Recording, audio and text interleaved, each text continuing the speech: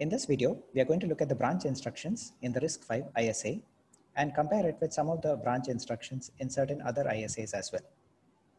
The most basic type of branch instructions present in the RISC-V instruction set architecture are the conditional branches. As you can see over here, there are essentially six such instructions, branch equal to, branch not equal to, branch less than, which has two variants, which is less than signed and less than unsigned. The BLTU essentially is an unsigned variant. And similarly, you also have the BGE, which is the branch greater than equal to. As you can see, you don't really have a branch less than equal to. You can always convert any less than equal to comparison to a corresponding greater than equal to comparison by swapping the operands. One of the things you will notice over here is that the immediate operand is used to increment the program counter and only relative branching is supported. In other words, if the branch condition is satisfied, the PC will get the value PC plus the immediate value. Now, how do we construct the immediate value? It's a 12-bit operand. And as you can see, it is sort of scattered around over here. We have 12 over here, 11, 10 to 5, and 4 to 1. You might be wondering why this particular approach has been taken. And it's arguable that it, you know, the instruction could have also been, been encoded in probably a simpler manner such that the immediate operand was just there as one chunk of bits. On the other hand, by encoding it in this way, it turns out that some of the bits that are required for certain other kinds of immediate operands share their locations in the instruction encoding with what it would be in the case of other instructions. So from a final implementation point of view, it is possible that by having this particular kind of encoding, we might be able to reduce the amount of logic slightly. It's not a make or break kind of change over here, but it can have a, an effect on the final encoding of the system. This is one of the reasons why if as a processor designer, you had complete control over the instruction set, you could actually adapt your instruction encoding in such a way that it exactly matches with the kind of hardware that you are trying to build. On the other hand, the RISC-V ISA is being designed as a general instruction set architecture. Therefore, they follow certain general guidelines with the assumption that if it is good for one particular kind of implementation, it will most likely be good for others as well. However, you might find that for your particular implementation, this complicated breakup of the immediate operand actually ends up complicating things a little bit more than you would like. Either way, it's not very difficult. It's just a question of arranging bits together. And in the case of hardware, that essentially means just taking subsets of wires and grouping them together. There is no real hard, extra hardware involved in the setup. Now, what, what does relative addressing mean? As you can see in the previous breakup of the operation, the immediate operand is only defined from bit number 12 down to bit number 1. In other words, immediate of 0 is assumed to be 0. And that effectively means that it is forced to be a multiple of 2. Now, when you look at a 32-bit operating system where the instructions are 32 bits wide, that is 4 bytes, we know that for proper alignment of 32-bit words, all addresses need to be multiples of 4. So why is the immediate operand only enforcing a multiple of 2 and not a multiple of 4? The reason for this is that the RISC-V ISA also has a 16-bit variant. So they have essentially encoded this in such a way that it could also work with some type of the 16-bit variant. And they do not want to impose the fact that the immediate value therefore needs to be a multiple of 4. And in fact, if you think about it, for the RV64I, the bottom three bits, that is the least significant three bits should all be zero. In other words, the address should be a multiple of eight. Otherwise, it would lead to an alignment exception. In this case, of course, that is true.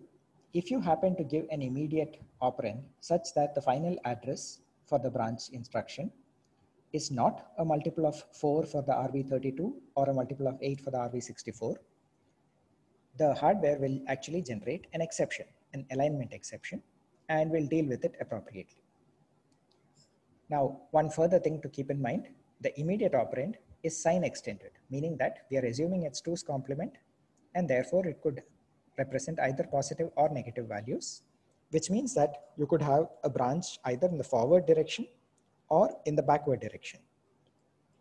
As we can imagine, backward branches are typically what we need in order to implement loops, whereas forward branches might be useful in the case of conditional execution.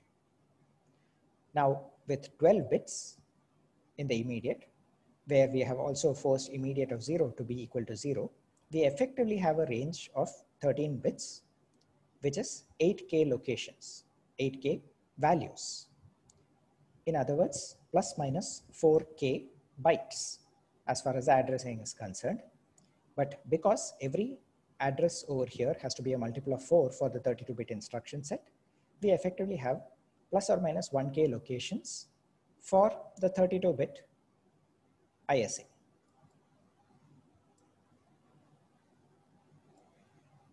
There's an interesting observation in the specification document for RISC-V and this is why it is actually worth going through the specification document because there are a number of such design perspectives that are mentioned in the document.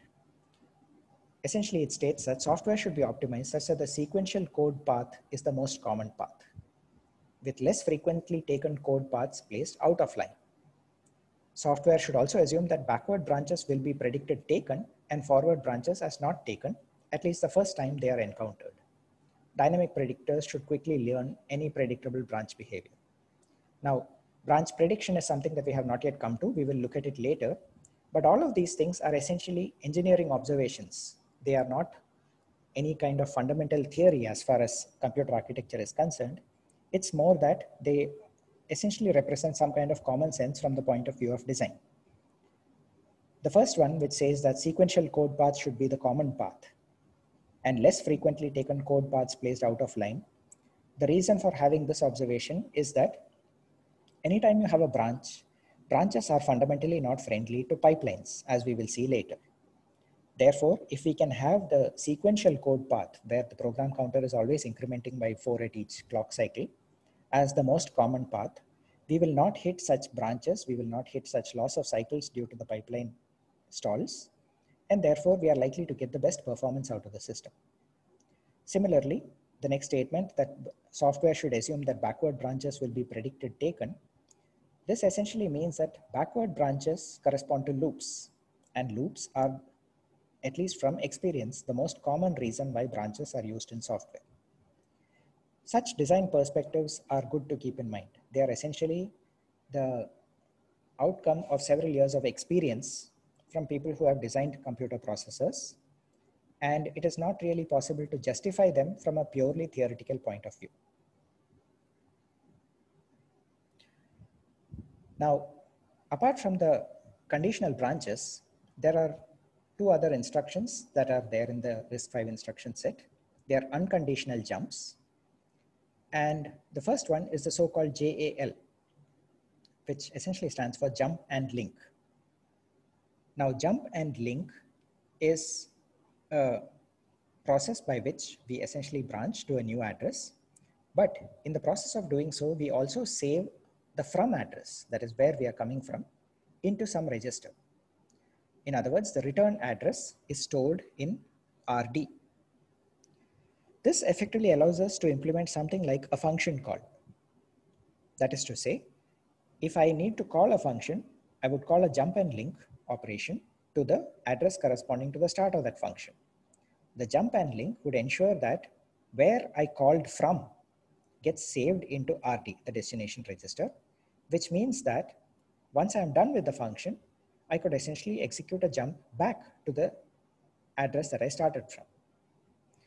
Now, the, as you can see over here, the from address is just stored into one of the registers in the register file it's not as though there is a specific place that is saved only for storing from addresses, which means that in the function, I might end up overwriting that. If I want to avoid overwriting it, I need to make sure that it gets saved somewhere. And this business of saving registers is something that is defined as part of the application binary interface or the ABI who should save these registers? Should it be the caller, that is the one calling the other function, or the callee, the function that has been called? All of this is something that is dependent on the ABI and is defined as part of the software of the system, not the hardware. Now, the unconditional jump takes a 20 bit immediate operand. You can see that the 20 bits are scattered all over the place. The reasons for scattering them like this are similar to the reasons why they were a bit scattered in the case of the branch instruction. The important point as far as we are concerned is it's PC relative addressing. What does that mean? It means that the immediate operand, once again, you do the same thing. You basically do PC to PC plus immediate. But in this case, the immediate value is a 20 bit value. And once again, the zeroth bit, the LSB, is assumed to be zero which effectively gives us 21 bits of offset, which effectively corresponds to a plus or minus 2 to the power of 20 bytes offset, and 2 to the power of 20 is 1 meg. So effectively, the range of addresses that I can jump relative to my current location is plus or minus 1 megabyte, or plus or minus 256k locations, assuming a 32-bit architecture. Once again, as before, if my immediate operand is such that I end up getting a multiple of 2 that's not a multiple of 4, I would end up getting a misaligned instruction read, which will still lead to an exception. The other type of jump instruction that is present in the ISA is the so-called absolute jump or the jump and link register. In this case, we have a base address that is stored in the RS1 register. And what, since that is a full 32 bit value, what we say is we can take that 32-bit value, add in this case only a 12-bit immediate operand to it, and just set the value of PC to be this new 32-bit value that we have just computed. By putting arbitrary values into RS1, we can actually make it jump to absolutely any of the 2 to the power of 32 locations that the processor can access. It is now no longer a relative jump that is enforced, and in this particular case, you will see that the immediate operand is 11 colon 0, not 11 colon 1. In other words, we do not force the LSBs to 0. However, misaligned reads still will lead to exceptions. The only thing that you need to remember as far as this is concerned is this is one of those exceptional cases that you need to keep in mind when you're actually implementing the hardware. So the jump and link relative instruction in other words, allows us to load the PC with any value and thereby, in principle at least, jump to absolutely any location in the entire address space that can be accessed by this processor. What if what we wanted to do was to actually do a relative jump, that is to say, jump to some location relative to the current value of the program counter, but something that is more than one megabyte away. Because after all, the jump and link, the relative version, just the jump and link, is limited to a plus minus one megabyte. The jump and link register allows us to go anywhere, but it doesn't really so far offer an option of going relative to the program counter. So how do we handle this? The basic JALR instruction allows us to load the PC from a register. This is great for absolute jumps, which basically mean that we can go anywhere in the address space. But what about large relative jumps greater than the plus minus one megabyte? What if we could load the current value of the program counter into a register and then modify it arbitrarily? After all, when we want to modify a register, once we have a value in a register, we can modify it by anything more than one meg. And then we could jump to the new value corresponding to the register. In other words, what we would like to see is, is there some way by which I can take the current value of the PC and put it into one of my registers? So generating large addresses requires some additional help from the instruction set architecture. In the case of RV32i, that's provided by two operations, two instructions.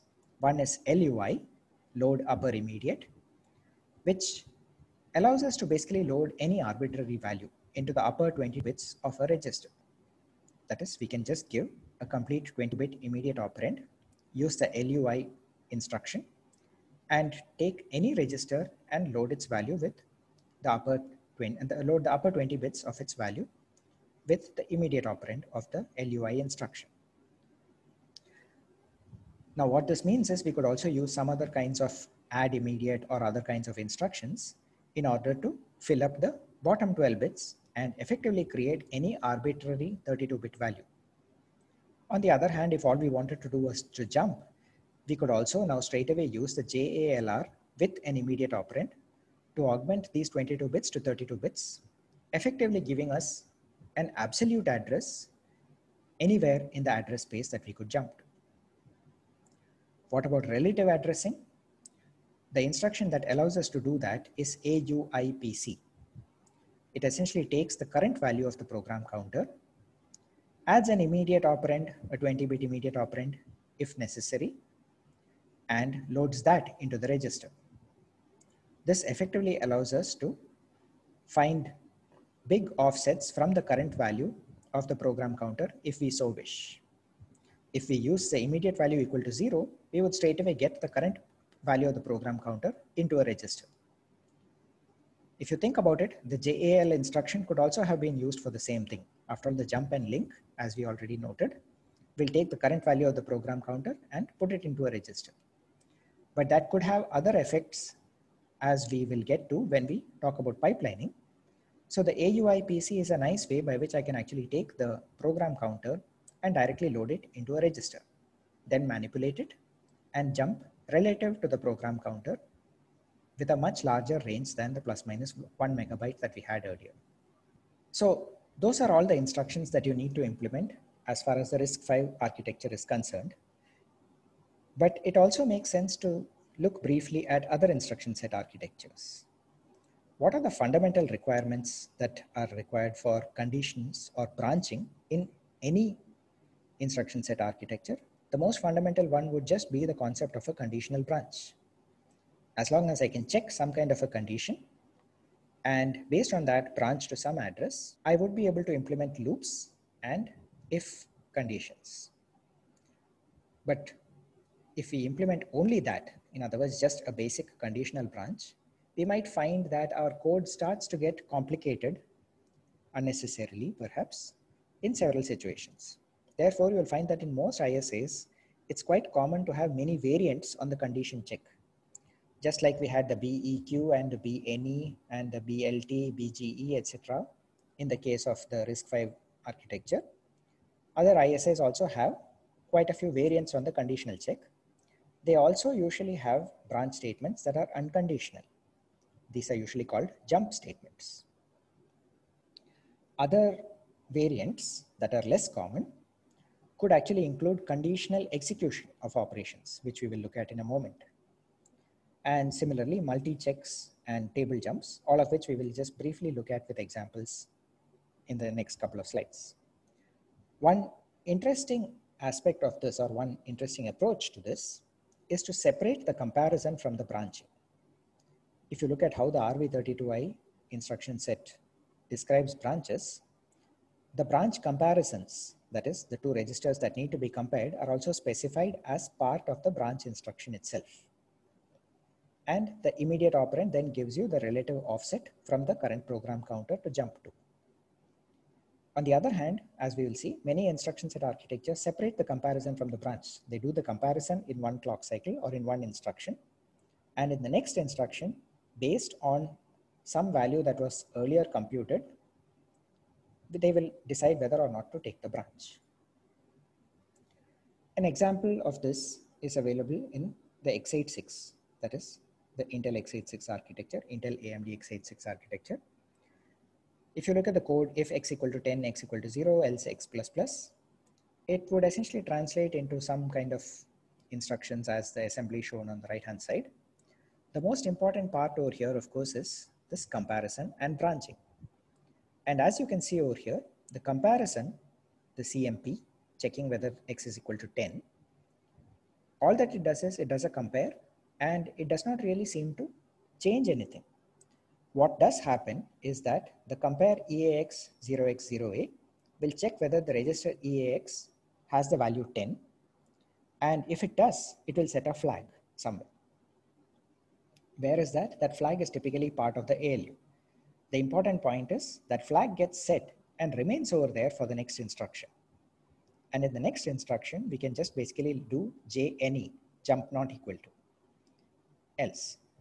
right? Where else is essentially the label corresponding to the place where you need to jump. How does this work? The JNE, in other words, does not tell you what should be equal to what. It doesn't tell you what to compare. It just checks the status of the flag. And if the JNE condition is satisfied, it will jump to the else location. Otherwise, it will skip forward to the move instruction, move EAX 0. The jump end is similar to our JAL instruction, an unconditional jump. The ARM processor, which is the other popular architecture present these days, includes certain kinds of uh, instructions for so-called conditional execution. As you can see over here, add LT effectively says check the value of R0 or rather check the condition that was of the that was executed in the previous instruction, which essentially is compare R0 with 3 and if the LT flag was set, that is R0 was less than 3, then increment R0, add R0, R01. So how does this work? Effectively what we have done is we compare the value of R0 to 3 using one instruction. And in the next instruction, we just do an add LT. The LT over here is checking the less than status corresponding to the previous instruction. So once again, just like in the case of the x86, we can see that there are flags that are set by one instruction, which in turn will be checked by a future instruction. Similar things happen with a further set of instructions that are called the multi-check instructions in branches. The ITTE, for example, stands for if, then, then, else. And effectively what it says is ITTE NE would check whether the previous instruction that had executed before it set the NE flag. And if so, it would essentially run the next two instructions. Now, once again, over here, the and NE would not update a condition flag. That would have to, that would be limited to the add s NE. As you can see over here, this would update condition flags that are required for further operations beyond the multi-check. Now, for the most part, we are not even going to bother about these because the RISC-V architecture, in my opinion, wisely, does not have such instructions. These instructions, although they appear to be useful and could potentially have some nice use cases, typically end up making it much harder for a compiler to make use of them automatically.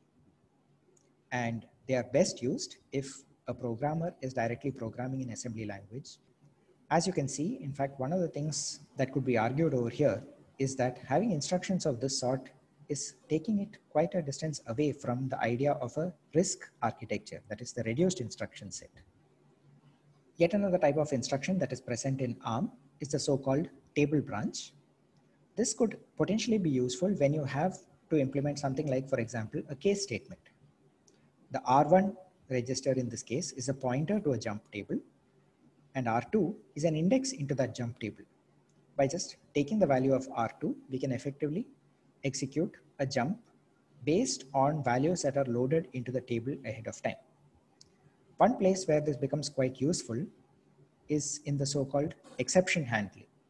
We can create a table of exception vectors depending on a numerical value corresponding to an exception or an interrupt.